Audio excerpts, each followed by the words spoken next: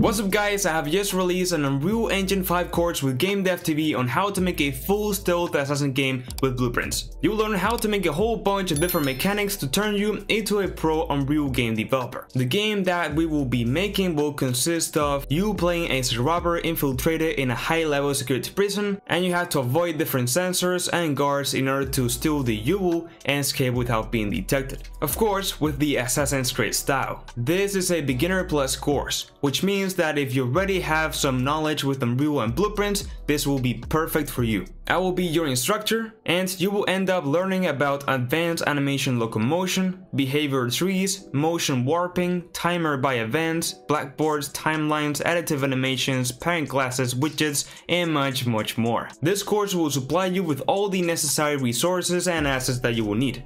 In the end, you'll end up with a full Unreal project that you can play around with, expand, and have a ton of more experience with Unreal Engine 5. So you can check it out right now through the first link in the description. It took us a lot of time and effort to make this and ensure that it's top notch. So with that said, see you in the course.